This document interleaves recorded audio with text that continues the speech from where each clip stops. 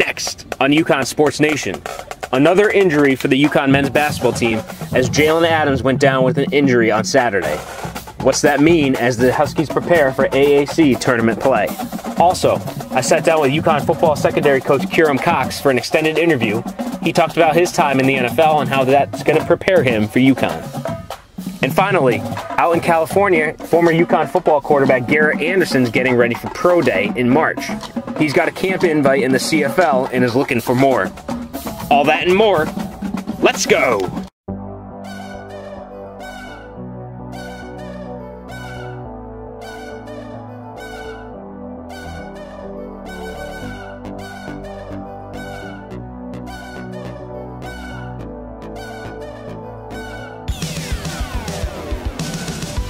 the Monday edition of UConn Sports Nation.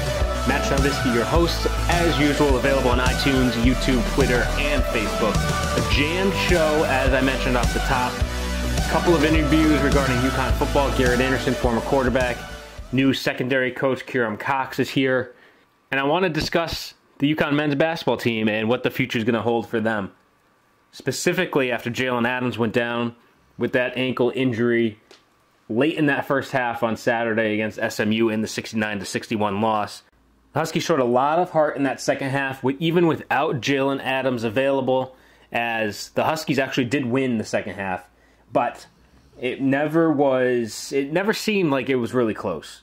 To me, shut Jalen Adams down until postseason play. There's no need to risk further injury. There's no need to risk further tweaking of that ankle. And based on some injuries I've seen with NBA players, it takes a long time to come back from these severe ankle sprains. So I wouldn't even consider playing him against East Carolina, honestly, on Wednesday. But I did see that Coach Kevin Ollie did say he's going to be a game time decision. But to me, you need him for the postseason tournament. So why take the risk? Maybe throw him out there against Cincinnati. But against East Carolina, I would say let it go. Let the other guys step in and play. They do need one win for that first round bye. But I think Jalen Adams' availability in the AAC tournament is a lot more important than even getting a first round bye or a win against East Carolina. So I would say shut him down at least through Wednesday. Let him get some rest, keep him off the practice court, and just see how he is able to recover heading into the weekend. As the Huskies really don't play again until Sunday after Wednesday's game. So I did want to discuss the games that Kentan Facey had on Saturday against SMU. 15 points, 9 rebounds, 7 to 12 from the field in 38 minutes. He was a major factor in, in Saturday's game, and I want to see more of that. Christian Vital uh, obviously picked up the slack once Adams was out. Adams, again, only played 16 minutes. He went out with, I think it was two and a half, 229 to be exact, left in the first half. And Vital came in, 14 points, three of six from three, four rebounds, one assist. He played a very good game for, again, he's a freshman. I don't know if you should really call him a freshman with the amount of experience he's had. He's really developed and has had a lot of playing time given all the injuries that the Huskies have had. All their starters, minus Adams, all above 30 minutes, including Vital. 31 minutes for Vital. Purvis, 39 minutes. He only rested one minute in that game only 2 of 12 from 3. He struggled, and that's a big reason why the Huskies were not able to come through. 29% overall from 3 is not going to get the job done, especially against the top seed in this upcoming tournament. The entire offense changed when Adams went out. No longer was there any penetration, no longer was there getting to the basket from the outside. The Huskies would dub it down on the block to Kentan Facey at times, but Amida Brimah not anywhere to be found. 0 for 3 on the day. And the Huskies are going to need a lot more from Brimah. They're going to need a lot more from Vance Jackson. And they're going to need Purvis to improve from his 2 of 12 performance if they're going to really get to where they need to get to in order to save prep themselves for the AAC tournament next weekend. So I did want to touch on that big SMU game, share my thoughts on how the Huskies should approach Jalen Adams. But the vast majority of this show is going to be about UConn football, and I'll begin with secondary coach Curome Cox after the UConn Sports Minute. This UConn Sports Minute is sponsored by ThisIsUConnCountry.com. The men's basketball team drops Saturday's matchup with AAC leader SMU 69 61. and they will likely have to get a win in one of their two remaining regular season games to clinch the critical first round bye in the postseason conference tournament. The Huskies are back on the court in Greenville, North Carolina on Wednesday night at 7 to face East Carolina, who they narrowly beat 72 to 65 in late January in Hartford. The women's basketball team wraps up the regular season tonight in Tampa against USF ahead of this weekend's AAC tournament at Mohegan Sun. The undefeated Huskies tip off at 7, and you can see the game on ESPN2. UConn baseball dropped 2 of 3 in Austin to the Texas Longhorns, but did grab a 2 1 win on Saturday. In the win, junior right hander Wills Montgomery struck out 13 in just 6 and a third innings, while allowing only 4 hits, earning him AAC Pitcher of the Week honors. The Huskies are 4 and 3 overall and play 3 games in Florida this weekend, beginning with Western Michigan, prior to heading to the West Coast next weekend. Men's hockey team wrapped up the regular season with a weekend sweep of UNH 5 3 and 4 2, earning them the ninth seed in the Hockey East playoffs, which begin on Friday. The Huskies will be on the road in Boston in the best of three playoff series with all games beginning at 7 p.m. from Matthews Arena. UConn, of course, is looking for their first playoff series win in this now their third season in Hockey East. Matthews Arena was also the site where the women's hockey team saw their season end this past weekend, as they were swept 2-0 by Northeastern in the first round of the Hockey East playoffs. Despite a lopsided 6-2 loss in Game 1, the women did not go down without a fight, forcing overtime in Game 2 before eventually falling 3-2 ending their year at 14, 18, and 4. And that's the UConn Sports Minute. I'll be back with UConn football secondary coach Curome Cox after this. You're listening to UConn Sports Nation, presented by ThisIsUConnCountry.com, where you'll find the latest news, game previews, and recruiting when it comes to UConn football. Welcome to UConn, first time. Appreciate it. So, um, you had some time in the NFL, right? Yeah, I did. Um, what, have, what have your experiences college level, NFL level, now coaching staff. What's been what's helped you get to where you are? I guess. Just continue to just continue to learn, and uh, always trying to be better, uh, and staying and staying motivated. You know, just know that. To me, I always tell my guys, you, you're either growing or you're dead. You know, you're dying because a lot of times people feel like you're at the top, the peak, but you always got to continue to improve every day. And that's kind of the approach we're taking here with every day we just want our guys to get better. We don't know where the top is right now, but we just know every day we're trying to get better. Um, you know, the biggest difference obviously is, you know, with the generational change, you know, a lot of times they don't know the business side of the NFL because um, all they go off is what they see on TV, and it's a lot different. Um, and the, the reason I love the college game is because it's about developing and you get to develop these guys. You know, a lot of my educational background, my master's and stuff, it's all in education because I wanted to mentor. And that's what we do, and that's one of things that was most exciting about working with Edsall. I was fortunate to be with him at Maryland, and I see how we develop those guys. I see how we're going to develop players. And at the end of the day, you know, you know, I have kids of my own, and it's not always about at the same time, you know, um, they're not going to always understand it right away, but at the end of the day, as long as we're doing what's best for them and trying to better them and hold them to the standard that we know they're accountable with, you can walk away and then they walk away later and be so uh, thankful and they, they, really get a good product. So that's that's the biggest difference. It's about developing here. Uh, and my beliefs, you know, my philosophy, it's all about fundamentals and techniques, you know. Uh, and, you know, at the next level, a lot of time, it's people just rely, you know, you just don't get that mentorship, you know, because you don't have to. You don't have to, you, look on a wire and you pick who you want here you you, got to recruit these kids. Yeah. So you know you build relationships with them. Uh, when you first got the call, you were at Coastal Carolina, right? Yes, sir. Um, what was the reaction when, when Coach Edsall huh. reached out? It was actually pretty funny uh, because this wasn't the first time he reached out. He had reached out before when they had an opening at Maryland.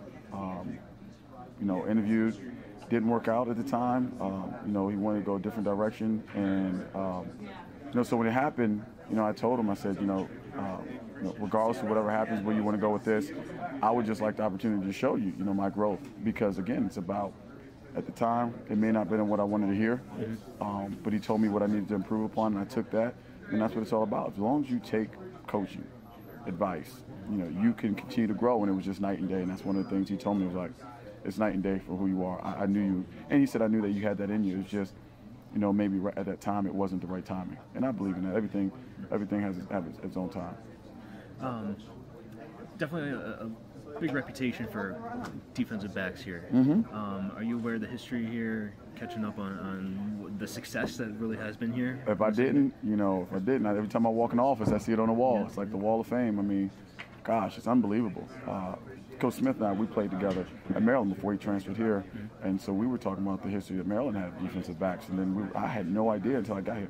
I've always known because I know a lot of players. You know, it's, you know how this goes. You know people, and I've always heard people talking about all the great success UConn had, but I was actually shocked, and I didn't know it was. I mean, from the defensive backfield, it is amazing, amazing what they have. I mean, you know, I wish we would have got one more year so I could have got Obi. You know, it's easy to coach the greats. Yeah.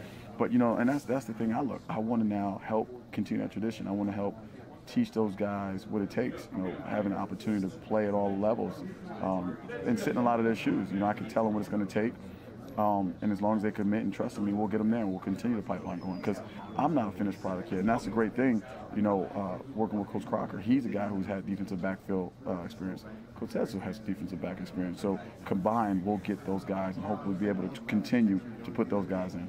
Playing in a three-three-five. Um a lot more responsibility, I guess, on the defensive backs. Is, is, that is that an accurate assessment? And are you really asked as in your position to coach differently as opposed to a regular four three three four? No, only because the game's evolving. Um, the difference is this: it's not really in the back end; it's really in the front end. It's the difference in the backer and the D lineman. Because really, if you think thinking what this game's come to, there's no difference in a four-two-five from the secondary perspective mm-hmm. than a three-three-five. Because four-two-five, you still have how many backs in the field? Five. Um, and with this game, you know, last year, you know, at Coastal, we played primarily with nickel and dime. So it's you're coaching the corners, you're coaching the dimes, you're coaching the nickels. I mean, uh, safe, safeties. Um, so not really on my perspective. Uh, it's more people, in the, you know, more people on the, on the, field. That's great, gives us more opportunity. Um, it, you know, depth is important. But it, as far as the scheme, no, um, it's really not. Now, what you what it does do for us is you got to be versatile. You have to not. You can't just be pigeonholed. and I'm this corner. I'm this safety because at any given time, you know, one guy could be back, one guy could be down. So that's what it is. But, you know, myself, the reason I was afforded a, a successful NFL career was because I was able to play multiple positions. So that's how I teach. I believe, you know, you got to teach the kids about concepts. Uh, this day and age, a lot of guys try to memorize positions and they struggle. Mm-hmm. But if you understand the concepts, we'll have success in our defense. And that's why I was excited about this class. It gives you versatility. Um, and we even have some guys now. You know, you're getting getting a chance to see the guys move around a little bit. And you're getting intrigued, and you're you know you're like, okay, where can I use him at? And we'll we'll find out. But that's the good thing about it. Versatility is best when you're having a three-three-five. That's the one thing I will say: versatility, because it's not necessarily the three-three-five. It's Coach Crocker's system, which changes the defensive perspective. What's the transition for you been like coming up here to Connecticut? Something new, UConn. What's your impression been? How are you settling in? Man, you know the best transition has been the fans and been the staff. Like that's unbelievable, man. You know, I, have always told people it reminds me of when I played in Denver. Denver, uh, there wasn't really too many surrounding states from Colorado that had professional teams. So it was nothing but love, support, uh, and enthusiasm. It wasn't bandwagonish. They were with you with you know whatever reasons. And this the, the, the reception for Coach Edsall coming back is phenomenal. Um, you know, it's funny. You know, social media. You just go up all of a sudden from like you know, 3,000 to 5,000 followers. You know, it's just every day it's somebody, and it's exciting. Um, so that's great. And then our staff, man, you know, we hit the ground running right away. And, and, and, and the thing about this industry is a lot of us coached against each other. We knew each other. Uh, there was camaraderie. So everybody's adjusting at the same time. Uh, you know, so that's been really, really great. And it's been comfortable uh, working for Coach Edsall, you know, so that's, that's helped with the transition. But again, the fans, and now what's helping is the players because ultimately we won't be anything without them, and they make us feel they're excited to have us. You know, because that transition is never easy. Um, you know, they're teenagers at the end of the day, they're so they can be frightened, but they've really uh, opened us with welcome arms, and they're, they're, excited. I think. So you guys will be getting on the field finally in a short while here. What, what's what are you going to be hoping to accomplish in the spring? Probably a lot of evaluation, see which guys fit where. Exactly. That's all we're coming from. You know, just know what we have, uh, let them know what, we, what, what our standard is. Uh, get everybody playing with great energy, uh, great enthusiasm. Uh, technique side, we know all things can be, you know, do your job. And at the end of the spring, then we know moving forward. Now here's where we go, and now it's going to find the best fit for those guys because it's not like a long season. It's going to get 14 practices to find what the skill sets are, because that's where coaching comes in. Now you got to put guys in, in positions to be successful. So I think that's the biggest thing we're going to come from, getting those guys to, you know, understand, push harder, okay, work harder, and at the end of the day, you know, just want to be great and have that will to win. So I think that's going to be, you know, schematics, that'll come. but I think these they're a great group of kids, and I think um, you know, leaving spring ball, if we just know what we have and we just get them playing hard, the rest will take care of itself. That's Curome Cox. Thank you very much. Thank you. You're listening to UConn Sports Nation, presented by ThisIsUConnCountry.com, where you'll find the latest news, game previews, and recruiting when it comes to UConn football. On the UConn Sports Nation hotline is former UConn quarterback Garrett Anderson out on the West Coast enjoying that California life. Garrett, what's up? Not much. Like you said, enjoying the uh, California weather and the California life. So, what's uh, post UConn life been like for you? Uh, so far, just a lot of training, getting ready for pro day. Um, I've done one CFL tryout thus far. I'm about to do another one um, coming up this next weekend. Not this weekend, but the following one. And then um, continue training and be back out in Connecticut pretty soon. So, following the year, you took part in a postseason All Star game.